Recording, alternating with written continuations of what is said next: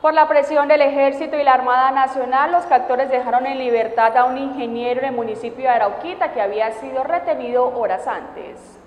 La Armada Nacional, al conocer un nuevo secuestro en la vía Arauquita-Arauca, de inmediato iniciaron los patrullajes en el río Arauca con el fin de evitar que esta persona fuera trasladada a territorio venezolano. Según las informaciones, la persona que fue retenida la tarde anterior en este eje vial era el ingeniero Eliezer Torrado, quien es contratista de la Fundación El Alcaraván. El ingeniero se movilizaba con dos personas más cuando fue retenido y minutos más tarde, los dos acompañantes fueron dejados en libertad cerca del sector donde fue plagiado. La presión de la Armada Nacional y el Ejército obligaron a sus captores a dejar en libertad al ingeniero Elías Torrado cerca del corregimiento del Troncal en el municipio de Arauquita. Inmediatamente se conoció de la noticia la retención del ingeniero que trabaja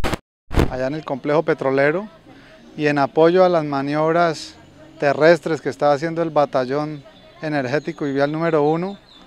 se envió un apoyo vía fluvial consistente en unas unidades a flote que tenemos en el área